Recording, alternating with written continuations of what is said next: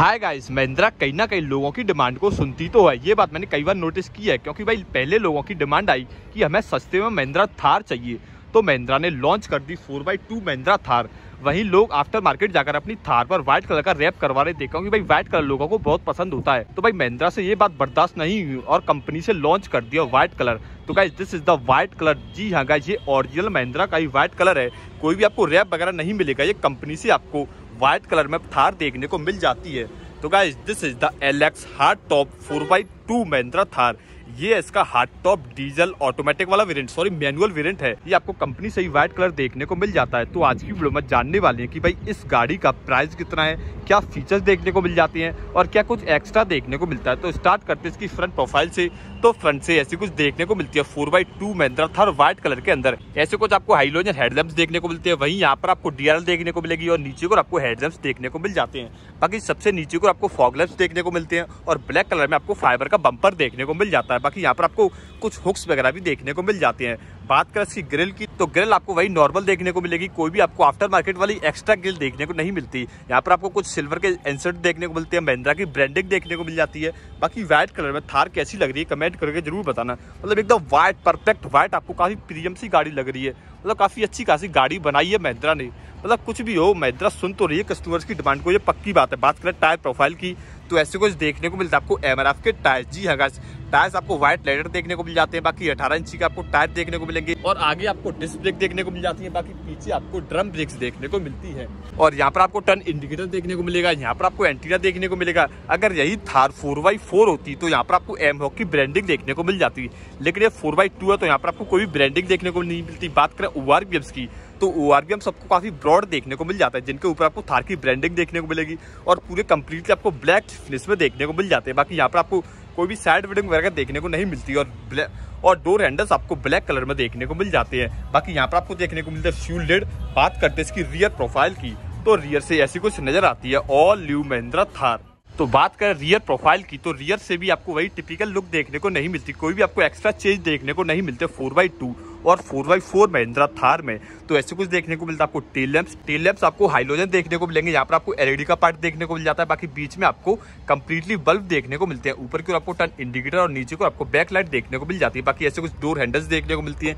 पीछे को आपको स्पेयर व्हील भी देखने को मिल जाता है, जो कि एट्टीन इंचेस का ही मिलता है। बात करें इसके रियर के डोर की तो रियर डोर कुछ ऐसे ओपन होता है। पहले आपको ये वाला डोर ओपन करना पड़ेगा, फिर आपको ये वाला डोर ओपन करना पड़ेगा। बाकी कोई भी एक्स्ट्रा चेंज देखने को नहीं मिलते। मतलब वही है, ऐसा नहीं कि फोर बाई टू महिंद्रा था तो कुछ एक्स्ट्रा मिलेगा।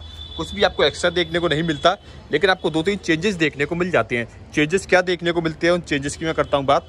यहाँ पर आपको कोई भी फोर बाई फोर की बैचिंग देखने को नहीं मिलती। मतलब ये फोर बाई टू है तो आपको फोर बाई टू लगा नहीं मिलेगा।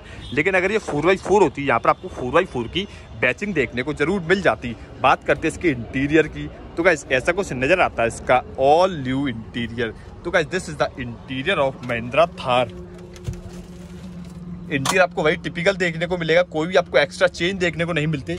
इंटीरियर आपको फुली रगेड देखने को मिल जाता है। जी हाँ गाइस आपको इंटीरियर मतलब फुली ब्लैक देखने को मिलेगा ऐसे कुछ देखने को मिलता है स्टेयरिंग व्हील बीच में आपको महिंद्रा का न्यू लोगो देखने को मिलेगा इस साइड देखने को मिलता है आपको मल्टीमीडिया के कंट्रोल्स और इस साइड देखने को मिलता है आपको क्रूज कंट्रोल बाकी यहाँ पर आपको सिल्वर फिनिश देखने को मिल जाती है बाकी बात करें इसके स्पीडोमीटर की तो ऐसा कुछ देखने को मिलता है स्पीडोमीटर इस साइड आपको आरपीएम देखने को मिल जाता है जो कि सात तक है यानी कि सात हज़ार तक आपको मार्किंग देखने को मिल जाती है बाकी यहाँ पर आपको एक सौ अस्सी तक स्पीड भी पता चलती रहती है बाकी बीच में आपको छोटी सी एम भी देखने को मिल जाती है बाकी बात करें सेंट्रल कंसोल की तो सेंट्रल कंसोल आपको ऐसा कुछ नज़र आता है बीच में आपको सेवन इंच की टच स्क्रीन डिस्प्ले देखने को मिलेगी यहाँ पर आपको कुछ बटन वगैरह देखने को मिलते हैं बाकी यहाँ पर देखने को मिलता है आपको एसी के बेंच जी हाँ गाइस यहाँ पर आपको पियानो ब्लैक फिनिश की बैचिंग देखने को मिलेगी बीच में आपको थोड़ा कार्बन फाइबर फिनिश भी देखने को मिल जाती है बाकी यहाँ पर आपको एसी के कंट्रोल्स देखने को मिलते हैं यहाँ पर आपको हज़ार लाइट वगैरह के कुछ बटन देखने को मिलते हैं और नीचे आपको फ़ोन रखने का स्पेस मिल जाता है यहाँ पर आपको कोई वायरलेस चार्जर वगैरह देखने को नहीं मिलता लेकिन यहाँ आपको बारह वोल्ट का पावर सॉकेट और एक टाइप सी का पोर्ट भी देखने को मिल जाता है सॉरी यूएसबी का पोर्ट देखने को मिलता है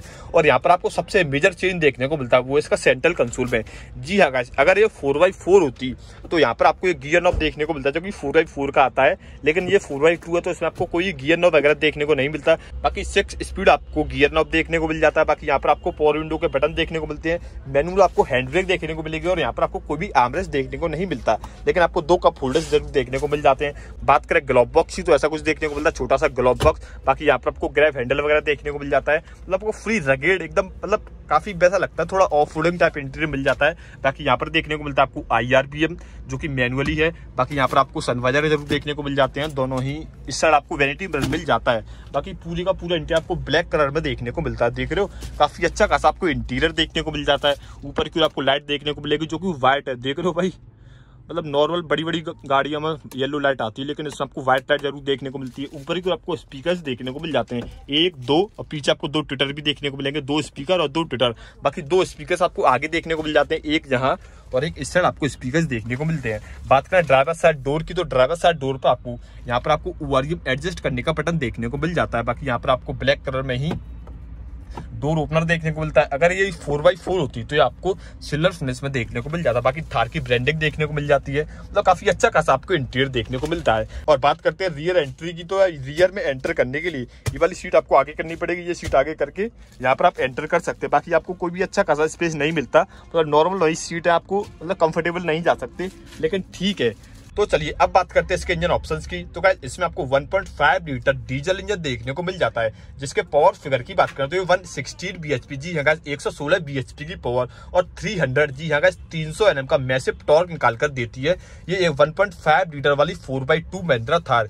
जी हाँ गाइस इसमें आपको 1500 सीसी वाले इंजन, थार में भी आपको 300 बीएचपी की पावर देखने को मिल जाती है। बाकी माइलेज की बात करें तो कंपनी इसमें 10 से 11 का ही क्लेम करती है। कोई आपको खास माइलेज देखने को नहीं मिलता।